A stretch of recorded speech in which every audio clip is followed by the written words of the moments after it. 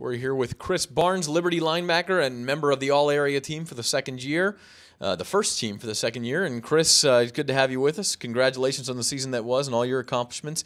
Uh, what was this senior year like for you? It, it, started out with expectations. It went to some disappointment early, and then obviously the jubilation at the end. Uh, put, putting towards what your senior season was like.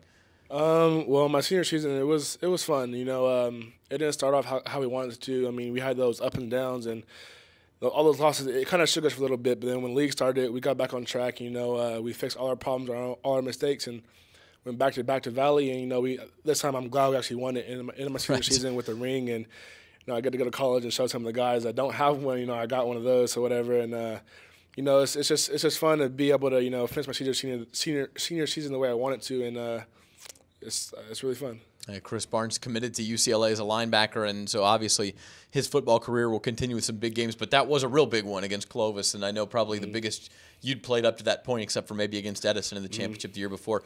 Uh, what, what will you remember specifically from that uh, from that game with Clovis? Do you have something you, will take away that uh, uh, an image in your head?